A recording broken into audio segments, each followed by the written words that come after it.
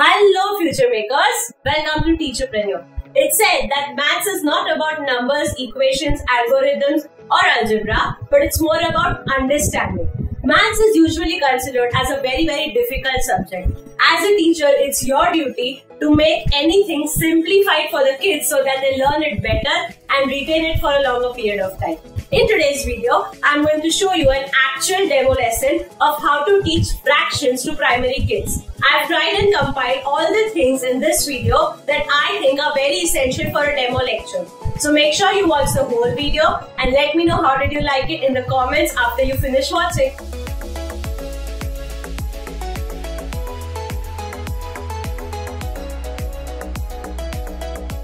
Hello kids, good morning. How are you all today?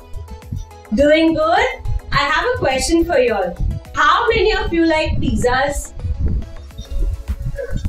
I think quite a few of you all like pizza. So today I've got a pizza in the classroom. Can we all share and eat it? Yeah? See, here is the pizza that I've got for all of you. Do you like pizzas? Do you like this pizza? Awesome. Like you like pizza, even I love pizza. So I thought, why not get a pizza in the classroom? Did you like this idea? Awesome. Now, can you please get up? Yeah. Tell me, how many pieces of pizza can you see here? Okay. He says seven. Should we all count together? Okay. Let's start with this one. One, two, three, four, five, six, seven, eight. How many pieces of pizza are there? Eight. I'm just writing it on the blackboard, okay? How many pieces of pizza did you all see? Eight pieces. Okay. Just like you all like pizza, I told you, even I am a pizza lover and I am very hungry also. Are you all hungry? Recess is just after one more lecture. Come on, you all can manage it for 40 minutes. I was very hungry. So I actually ate one piece of the pizza because I was hungry, you know, like you all. Okay, now tell me how many parts of pizzas can we all see? Not like this. I will ask one of you. Second last bench? Yeah. Can you please tell me how many pieces of pizza can you see now? Seven. Okay. Do you all agree that there are seven pieces of pizza now? Yes? Okay. So, how many pieces of pizza can you see now? Seven. Okay. I understood that first there were eight pieces of pizza. Then teacher ate one. And then you all could see only seven pieces of pizza. But you know now, you all can manage. I'm a bit more hungry. So I ate one more piece of pizza. Now the pizza looks something like this.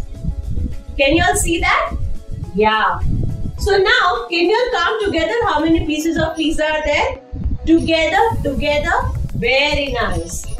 One, two, three, four, five, six. Awesome. So now you all think that there are six pieces of pizza. How many pieces were initially there? Eight pieces. Very good. Now, I think we can gradually say that now there are seven pieces of pizza left out of eight pieces. Do you all agree to me? Awesome. After teacher ate one more piece, I think there are six pieces of pizza left out of eight. Do you all agree with me? Awesome. So, today I'm going to teach you a new concept of maths. But before I tell you what the concept is about, let me tell you what is it called. So, anything that is expressed like this is called a fraction in maths. What is it called? Fraction. Very good. What is it called? Fraction. Very good. One more time with me. What is it called? Fraction. Very good. Okay, now we all know what are we learning about and what is it called. I'm going to teach you in depth about fractions today. Are you excited to learn about fractions and pizzas? Let's learn together. Now, listen to the teacher carefully. Anything that is expressed in the form of something out of something or numerator divided by denominator is called a fraction. You all understand what is fraction? See, in real terms, if we refer to the upper number as P and if we refer to the lower number as Q. So what did teacher teach you today? Anything that can be expressed in the form of P by Q is called a fraction. Do you all understand? Anything that is expressed in the form of P by Q is called a fraction. Can we all repeat together what is a fraction? Anything that can be expressed in the form of P by Q is called a fraction. Awesome. Third bench, can you tell me what is a fraction? Correct. She is saying anything that can be expressed in the form of P by Q is called a fraction. Do you think she's right? Very good. Let's clap our hands for her. Okay. Thank you. Thank you. Thank you, dear. Please sit down. Now, you all have to tell me where have you seen something like this in your real life? One by one, one by one. Yes. Very good. Listen to what he's saying. He's saying that, ma'am, whenever we get mark sheets on the test paper, it is written 7 out of 10, 6 out of 10. That is what a fraction is. Do you all agree? Have you seen such numbers on your test papers? Very good. That is exactly what you call a fraction. Okay, as you all say, that you have seen something like 8 out of 10 on your question papers or test papers as well. Correct? Very good.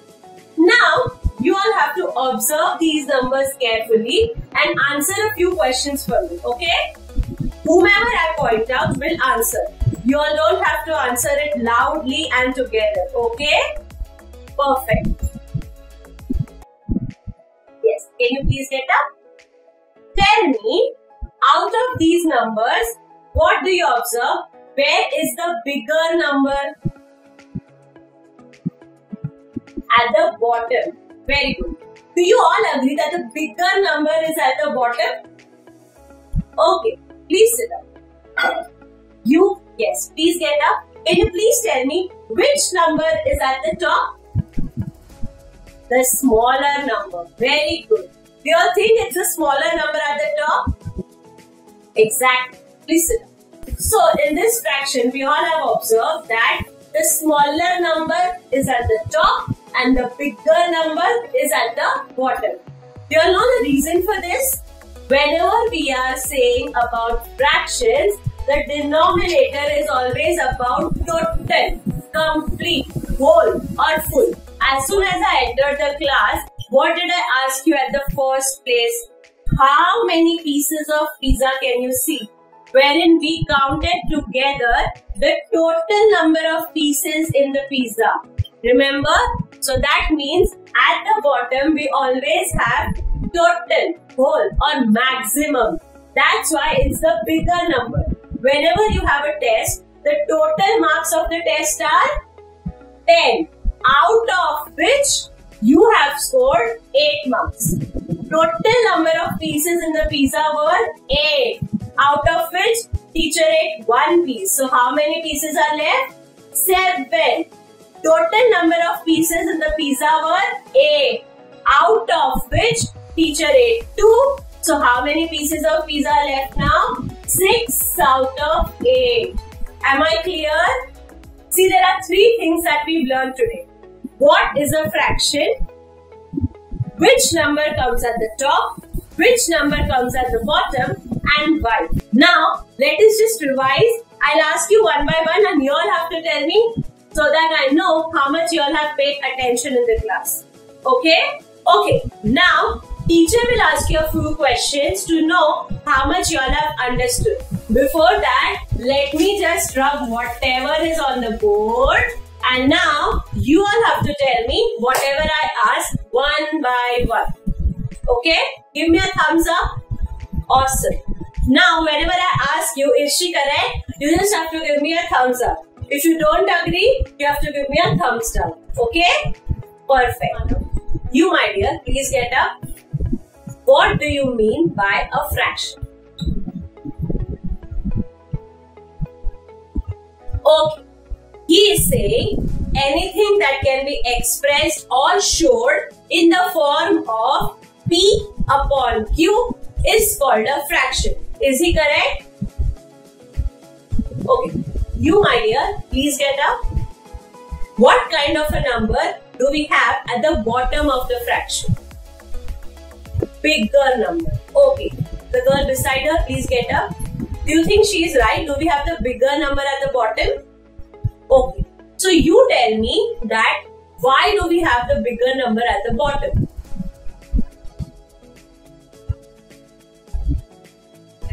And she is saying that we have the bigger number at the bottom because it represents the total. Do you all agree? Very nice. Please sit down. Thank you. Okay, you. Yes, my dear. You tell me. Do we have smaller number at the bottom or at the top? He's saying we have the smaller number at the top. Who all agree? Very good. Please sit down. Yes? Why do we have the smaller number at the top? Okay. She's saying because it is the part that we are talking about. Do you all agree? Thank you. Sit up. Good. Okay. So now you understand that fraction is anything that can be expressed in the terms of P upon Q, where P represents a part, that's why it's at the top. It's the numerator. And Q represents the whole, that's why it's a bigger number and it is at the bottom. Are you all okay with this? Awesome. Thank you all. For homework, you'll have to find out which other places do we use fractions in. And tomorrow when I come to the class, you have to tell me, okay? I can ask anybody from the whole class. So you all have to come prepared with at least two things where we use fractions. Till then, okay, that's it. Thank you.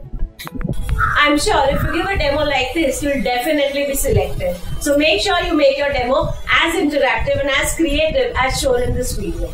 We've already made a video about tips on how to give a demo lecture. The link is over here and in the i button below. Make sure you watch it after you finish watching this video. I've also made a video on how to give a demo about phonics for pre-primary students.